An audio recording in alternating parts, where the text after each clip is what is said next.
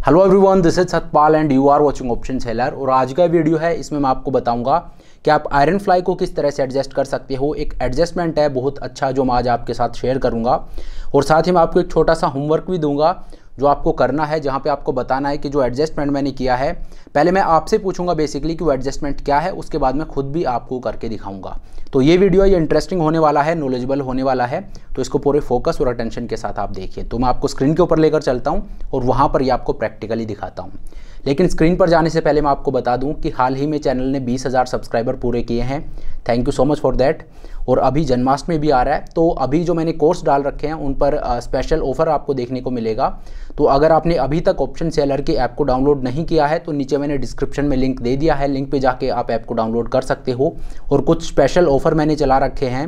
क्योंकि अभी दो इवेंट हैं, एक तो चैनल ने बीस हज़ार सब्सक्राइबर पूरे किए हैं और दूसरा अभी जन्माष्टमी भी आ रहा है तो अभी मैंने एक ऑफ़र रन कर रखा है, जिसको आप अवेल कर सकते हो, जहाँ पर आपको 40 से 50 परसेंट तक का डिस्काउंट देखने को मिलेगा। तो आप ऐप को डाउनलोड कर सकते हो और वहाँ पर ये कोर्सेज आपको देखने को मिल जाएँगे। तो चलिए अब स्क्रीन के ऊपर चलते हैं और मैं आपको दिखाता हूँ कि आयरन फ्लाई को आप किस तरह से मैनेज कर सकते हो। तो देखिए, ये मैं आपको स्क्रीन के ऊपर ले आया हूँ, यहाँ पे अब मैं आपको एक आयरन फ्लाई को ट्रेड करके दिखाता हूँ।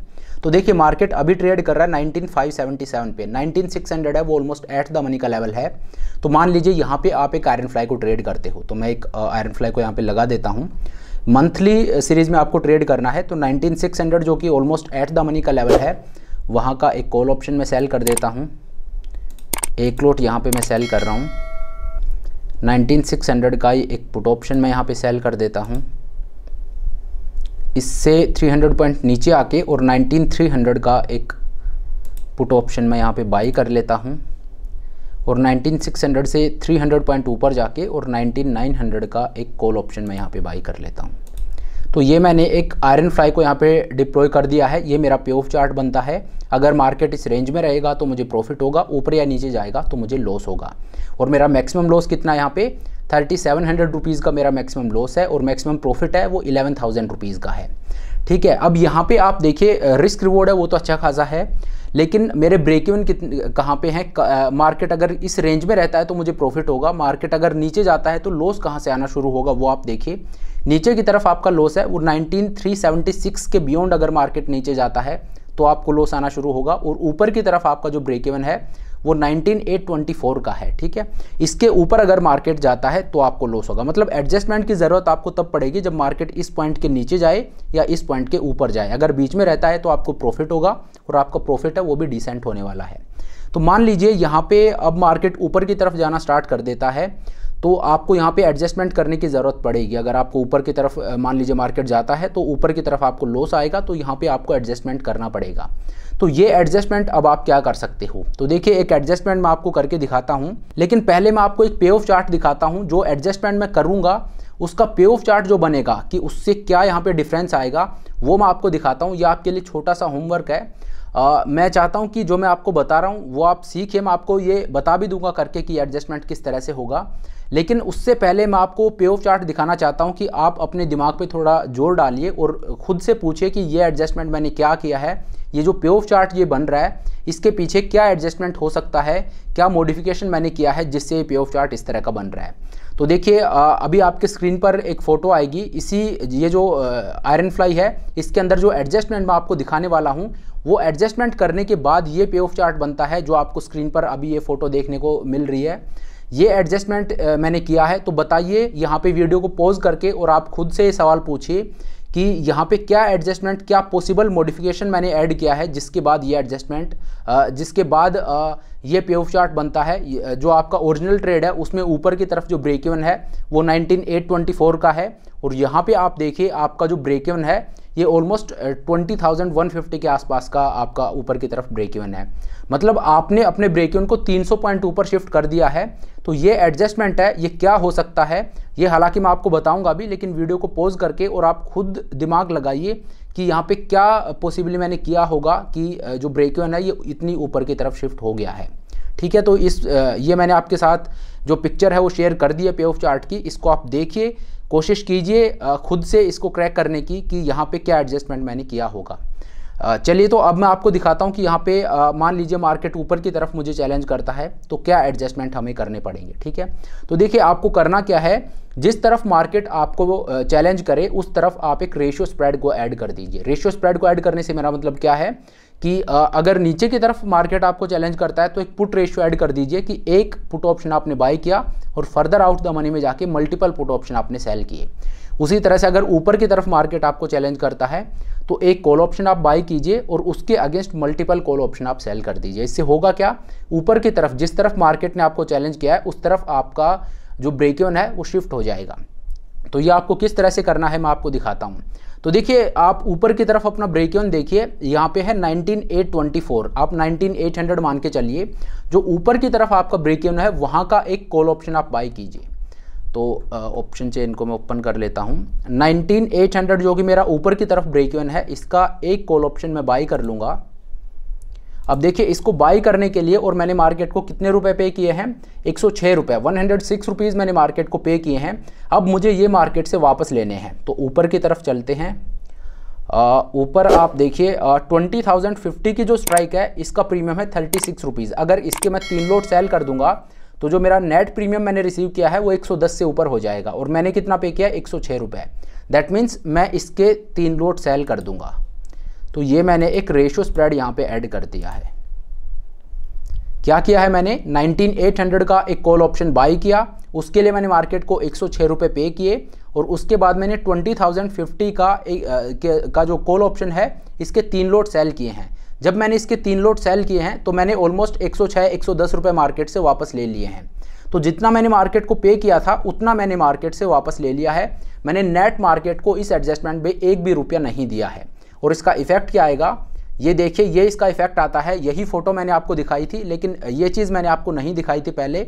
और उसके पीछे का रीज़न ये था कि आप अपने दिमाग पे ज़ोर डालो कि यहाँ पे क्या पॉसिबल एडजस्टमेंट हुआ होगा कि मेरा ब्रेक इवन है, ये इतनी ऊपर की तरफ़ शिफ्ट हो गया है। तो ये है वो एडजस्टमेंट उसके पीछे का ये है मैथ ये तो मेरा ओरिजिनल ट्रेड है। 19600 का कॉल और पुट दोनों मैंने सेल कर रखे हैं। 19300 का पुट मैंने नीचे बाई किया है। 19900 का कॉल ऑप्शन है। ये ऊपर बाई किया है। ये तो मेरी जो नॉर्मल आयरन फ्लाई है, वो हो गई। लेकिन एडजस्टमेंट मैंने क्या किया? ऊपर की तरफ़ जो ब्रेक इवन था, वहाँ का एक कॉल ऑप्शन बाई किया और उससे ऊपर जाके और तीन कॉल ऑप्शन सेल कर दिए। कौन से स्ट्राइक के? जहाँ का प्रीमियम मुझे इतना मिल रहा था कि अगर मैं उसको थ्री से मल्टीप्लाई करूँ तो जितना मैंने मार्केट को पे किया है, उतना या उससे ज़्यादा प्रीमियम मुझे मिल जाए। और इसके पीछे का लॉजिक क्या है? कि मैं इस एडजस्टमेंट में मार्केट को एक भी रुपया नहीं देना चाहता हूँ मैं नेट क्रेडिट में रहना चाहता हूँ। तो ये एडजस्टमेंट करके मैंने अपने ब्रेक को ऊपर की तरफ़ शिफ्ट कर दिया है मैंने मार्केट को एक भी रुपया नहीं दिया है। और जो मेरा ट्रेड है उसका अब जो ब्रेक इवन है ये आप देखिए ऊपर की तरफ़ शिफ्ट हो गया है। ओरिजिनली ये कितना था? 19,800 के आसपास का मेरा ब्रेक इवन था ऊपर की तरफ़। और अब आप देखिए मेरा जो ब्रेक इवन है ये है 20,138 तो ऑलमोस्ट 300 पॉइंट ऊपर आपने अपने ब्रेक इवन को शिफ्ट कर दिया है और जो एडजस्टमेंट आपने किया है, उसमें आपका कोई खर्चा नहीं हुआ है। आपने मार्केट को नेट किसी तरह का कोई डेबिट पे नहीं किया है। यहाँ पे आप क्रेडिट में ही हो एक दो रुपए के। अब देखिए, जब मैं बोलता हूँ कि नेट आपका कोई खर्चा नहीं हुआ है, इसका मतलब ये नहीं है कि आपको एडिशनल कैपिटल नहीं चाहिए होगी। यहाँ पे आप देखिए, आपकी जो मार्जिन रिक्वायरमेंट है, वो ऊपर गई है। दो लाख छत्तीस हज़ार अब आपकी मार्जिन रिक्वायरमेंट होगी है। मार्जिन रिक्वायरमेंट अलग चीज़ है और मार्केट को डेबिट पे करना अलग चीज़ है। इस ट्रेड में मैंने मार्केट को एक भी रुपया डेबिट पे नहीं किया है। डेबिट वो होता है जब हम ऑप्शन को बाई करते हैं, तब हम मार्केट को जो पैसा पे करते हैं, उसको डेबिट बोलते हैं। तो यहाँ पे मैंने डेबिट पे नहीं किया है, मैंने मार्केट से कुछ पैसे लिए हैं। लेकिन हाँ आपकी जो मार्जिन रिक्वायरमेंट है, ये ऊपर जाएगी। लेकिन अगेन मैंने आपको बता रखा है, कई वीडियोज़ में मैंने आपको बताया है कि ये जो आपकी मार्जिन रिक्वायरमेंट है, यहाँ पे आप देखिए दो लाख छत्तीस हज़ार आपकी मार्जिन रिक्वायरमेंट है almost two point five lakh आप मान के चलिए। तो ये जो आपकी मार्जिन रिक्वायरमेंट है, इसको आप किस तरह से टैकल कर सकते हो? तो देखिए वीकली ऑप्शंस हैं, उनको आप यूज़ कीजिए। अगर आप वीकली ऑप्शंस को यूज़ करते हो, जैसे यहाँ पे आप देखिए, मैंने ट्वेंटी थाउज़ेंड फिफ्टी के कॉल ऑप्शन के तीन लोड सेल कर रखे हैं। अब यहाँ पे मैं क्या करूँगा, ये तो सेप्टेम्बर मंथ की सीरीज़ में मैं ट्रेड कर रहा हूँ, जो करंट वीकली एक्सपायरी है, वो कब की है? सात सेप्टेम्बर की। तो आप देखिए, सात सितंबर का अगर आप ट्वेंटी थाउज़ेंड का या ट्वेंटी थाउज़ेंड वन हंड्रेड का एक कॉल ऑप्शन या दो कॉल ऑप्शन बाई कर लेते हो तो आपकी जो मार्जिन रिक्वायरमेंट है, ये ड्रास्टिकली कम हो जाएगी। तो ये चीज़ मैं कई बार बता चुका हूँ और मैं आप सभी को रेकमेंड भी करता हूँ कि वीकली ऑप्शंस में आप ट्रेड मत कीजिए, उनको सिर्फ़ आप यूज़ कीजिए, एक तो हैजिंग पर्पज़ के लिए और दूसरा मार्जिन बेनिफिट के लिए। अगर आप वीकली ऑप्शंस को आपको यूज़ ही करना है तो ये दो चीज़ होनी चाहिए जिनके लिए आपको यूज़ करना है। वहाँ पर आप ट्रेड इतना मत कीजिए ट्रेड आप मंथलीज में कीजिए। तो ये है वो एडजस्टमेंट जो आप एक आयरन फ्लाई में कर सकते हो स्टैंडर्ड आयरन फ्लाई ये आपकी है। उसके बाद कोई बहुत कॉम्प्लेक्स चीज़ मैंने नहीं की है। मैंने बेसिकली एक छोटा सा रेशो स्प्रेड यहाँ पे ऐड कर दिया है। ऊपर की तरफ़ जहाँ आपका ब्रेक इवन है, वहाँ का एक कॉल ऑप्शन बाई कीजिए और उससे ऊपर जाके मल्टीपल कॉल ऑप्शन आप सेल कर दीजिए। सिमिलरली अगर आप, आपको मार्केट नीचे की तरफ़ चैलेंज करता है तो नीचे की तरफ़ जहाँ आपका ब्रेक इवन है, वहाँ का एक पुट ऑप्शन आप बाई कीजिए और उससे नीचे जाके और मल्टीपल पुट ऑप्शन आप सेल कर दीजिए। और उससे इस तरह का इफ़ेक्ट आएगा, आपका जो ब्रेक इवन है, वो दो से तीन पॉइंट ऊपर या नीचे शिफ्ट हो जाएगा मतलब आपको मार्केट से और स्पेस मिल जाएगी। और टाइम आप दे रहे हो और स्पेस आप मार्केट को दे रहे हो कि मार्केट आपके अगेंस्ट जा रहा है तो आपने मार्केट को स्क्वीज नहीं किया है, अभी आप मार्केट को 200-300 पॉइंट की स्पेस और दे रहे हो कि मार्केट आपके अगेंस्ट चला जाए। और मार्केट अगर वहाँ पे भी एक्सपायर हो जाता है तो भी आपको प्रॉफिट होगा और रिवर्स होता है तो भी आपको प्रॉफिट होगा। लेकिन अगर मार्केट स्टिल कंटिन्यू करता है, अगर आपका व्यू है कि मार्केट यूनिडायरेक्शनली ऊपर या नीचे जा सकता है वहाँ पे आप ये एडजस्टमेंट मत कीजिए, वहाँ पे आप फंस सकते हो। तो चलिए, ये है वो एडजस्टमेंट जो आप यूज़ कर सकते हो एक आयरन फ्लाई में। आयरन फ्लाई है, ये काफ़ी प्रॉफिटेबल स्ट्रेटजी है और बिगनर्स को मैं मेनली ये चीज़ रिकमेंड करता हूँ कि आपको आयरन फ्लाई को ट्रेड करना चाहिए, क्योंकि जो रिस्क प्रोफ़ाइल है वो इसकी इस तरह की नहीं है कि आपकी पूरी कैपिटल चली जाएगी या आपका जो अकाउंट है, जो ट्रेडिंग कैपिटल है, उसमें एक बड़ा डेंट आपका पड़ेगा अगर आप कुछ भी नहीं करते हो तो। क्यों? क्योंकि यहाँ यहाँ पे आपका रिस्क है, वो ऑलरेडी डिफाइंड है, आपका जो रिस्क है वो छोटा सा होता है, एक लोट में अगर आप ट्रेड करते हो तो आपका जो रिस्क है वो बहुत बड़ा नहीं है। इस तरह का नहीं है कि आप उसको मैनेज ही ना कर पाओ या उसकी वजह से आपको ट्रेडिंग ही छोड़नी पड़े। लेकिन हाँ जैसे स्ट्रैडल होगी स्ट्रेंगल होगी या नेकेड ऑप्शन सेलिंग होगी, ये काफ़ी डेंजरस स्ट्रेटजीज होती हैं। यहाँ पे अगर आपको एडजस्टमेंट नहीं आते हैं तो यहाँ पे एक गलती आपके पूरे अकाउंट को ब्लॉक कर सकती है और आपको सीधा मार्केट से बाहर कर सकती है। लेकिन ये जो स्ट्रेटजी है, ये आप ट्रेड कर सकते हो। बिगनर जो हैं उनको मैं सभी को ये रेकमेंड करता हूँ कि आप यहाँ से स्टार्ट कीजिए। आयरन कोंडोर होगी आयरन फ्लाई होगी इनको आप ट्रेड कीजिए। क्यों? क्योंकि यहाँ पे अगर आप एडजस्टमेंट करते हो तब तो आप ऑलमोस्ट ऑल द टाइम्स इसमें प्रॉफिटेबली बाहर निकल सकते हो आप मैनेज कर सकते हो। लेकिन अगर आप एडजस्टमेंट नहीं भी कर पाते मान लीजिए आपको इतने नॉलेज नहीं है एक बिगनर से बेसिकली ऐसी गलती हो सकती है कि हम ये मान के चल सकते हैं कि, कि एक बिगनर है तो उसको बहुत ज़्यादा नॉलेज नहीं होगी एडजस्टमेंट्स की।